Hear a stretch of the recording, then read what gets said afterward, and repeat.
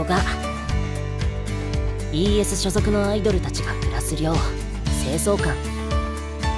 今日からここで俺たちの新しい生活が始まる。いや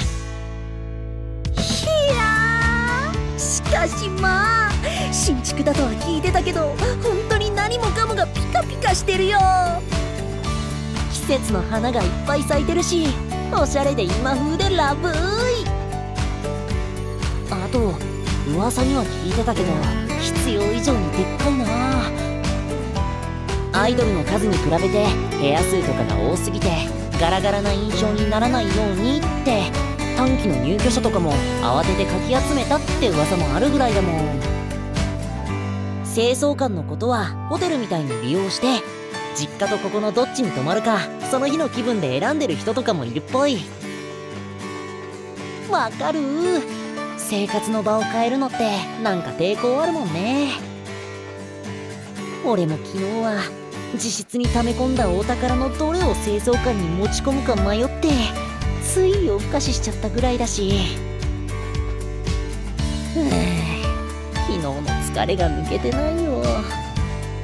こんなんでちゃんと引っ越し作業ができるかな。力仕事はあんまり得意じゃないんだけど。おまけに風早先輩と綾瀬先輩は別件があって合流が遅れるって話だし。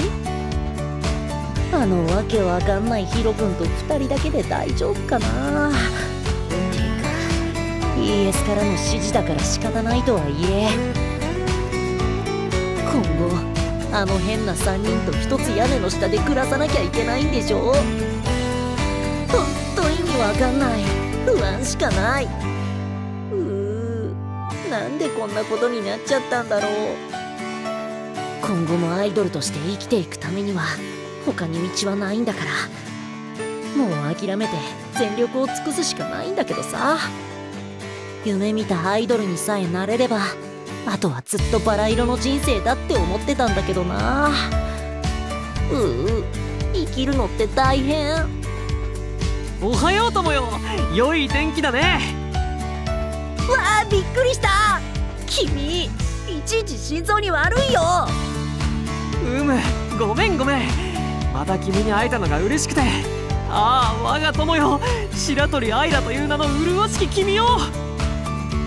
一日の始まりを共に祝おう。はははテンション高やめて。俺寝不足な上に朝弱いから耳元でわめかれると頭が痛くなってくる。ああそうそうこんな感じだった。基本的に意味わかんなくてうざい感じの子。ヒロくん天城ヒーロく。ん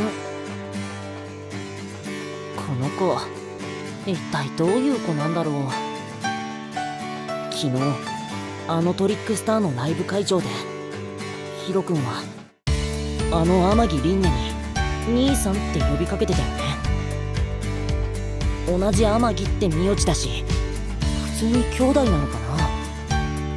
単なる兄弟って感じにも見えなかったけど。うー全体的に謎すぎる。でもまあこれから清掃官も同じ部屋で一緒に暮らしていくわけだしたとえ嫌でもお互いのことを知っていかざるを得ないんだろうけどアイラ君にスペアリブを送ろう。どういうこと？ごめん全言撤回。